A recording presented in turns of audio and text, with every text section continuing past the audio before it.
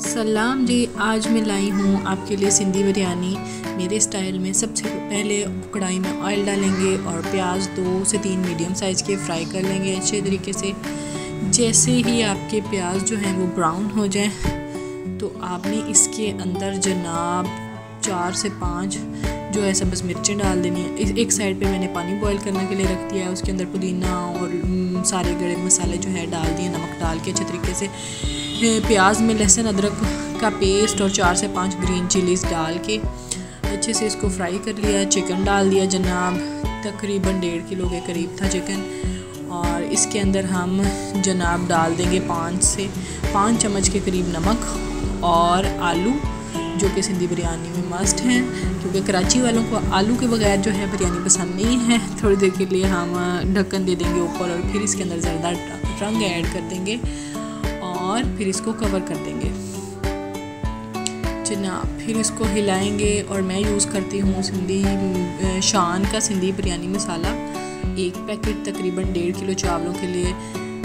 और इसके साथ मैं जो घर के थोड़े मसाले होते हैं, जैसे एक टीस्पून के करीब मैंने लाल मिर्च ऐड कर दी, सूखा धनिया थोड़ा सा ऐड कर दिया और दो कनौर क्यूब की के जो हैं क्यूब्स ऐड कर दिए और इमली का पानी एक कप के करीब मैंने ऐड कर दिया इसके अंदर और आलू बुखारा भी था उसके अंदर। इसके बाद जनाब मैंने एक कप के करीब इसके अंदर दही ऐड किया है और इसको अच्छे से भून लेंगे, थोड़ी देर के लिए कवर कर देंगे ताकि चिकन अच्छे से पक जाए और मसाला जो है वो इसके अंदर उसका जायका चला जाए और आलू भी गल जाए। जनाब हम ऐसे इसको थोड़ी देर के लिए भूनेंगे और इसको कवर करके एक साइड पे रख देंगे। सबसे पहले हम नीचे जो है तय में गोश्त कौरमा जो है वो ऐड करेंगे, उसके बाद हम चावल ऐड करेंगे। ऐसा करने से आपके चावल कभी भी नीचे नहीं लगेंगे। हम प्याज वगैरह ऊपर लगा के, धनिया, पुदीना, सब्ज़, मिर्च, टमाटर और मेरे पास लेमन अवेलेबल नहीं थे, इसलिए वो भी मैं, वो भी डाल सकते हैं आप और जरदा रंग जो है वो डाल के हम इसको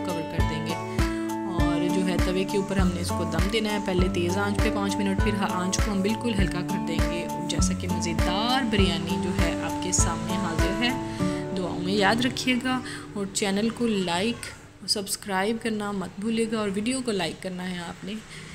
और इन मैं हाज़िर होती रहूँगी आपके साथ नई वीडियोस लेके आऊँगी।